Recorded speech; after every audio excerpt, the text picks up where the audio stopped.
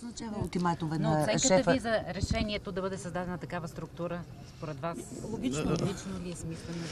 Аз а, преди малко казах критериите, от които се ръководя за моята оценка.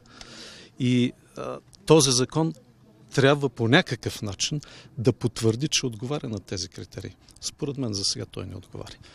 Смятате ли като удар срещу вас това, защото те са напряко подчинени на вас? Нека оставим това, както ви казах. Ще отговоря в казания в Конституцията срок, но не към мен. Това би било удар към държавността. Вие казахте, че не отговаря на критериите. Сте има ли вото? А, вето. Може ли да кажете? Вие казахте, че не отговаря на критериите. Казах ви, ще обявя своето решение в указания от Конституцията срок. Това е до 22 юни, ще имате подробни мотиви. Ултиматума на вашия шеф на стратегическия съвет какво означава, господин Радев? Меко сдаване на властта, иначе твърдо. Имате Как оценявате решението да се, е, държавата да, да купи е, част от е, акциите на Първа инвестиционна банка? И най-благородната цел не може да бъде оправдана а, с начина на, на нейното порочно изпълнение. Особено когато държавата налива нашите пари в частна банка без обяснение за капиталовия недостиг и за рентабилността на това начинание. Правителството на Борисов отдавна дължи отговор как и къде се харчат нашите пари. Да не забравяме, че подобна изкуствена стабилизация преди влизането в валутния блок не винаги води до трайни решения.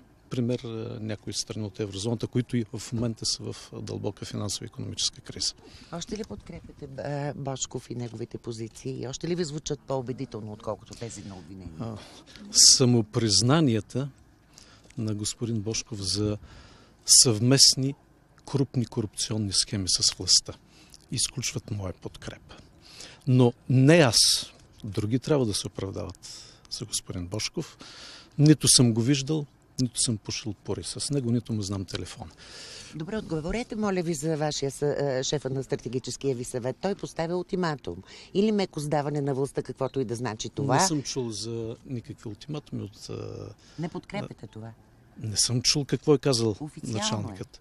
Вие го разтълкувате и тогава ще дам отговор. Не съм запознат. Ма той не е мой началник. Ама аз не съм запознат какво е казал. Имате ли? Да, в Москва защо няма да отидете на парада?